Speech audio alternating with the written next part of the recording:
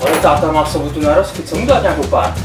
To sobota, to už je zítra. To už nějaký party stán, posezení, pípu, pivo, tácky, grill, osvětlení. To není jen tak? Není žádný problém.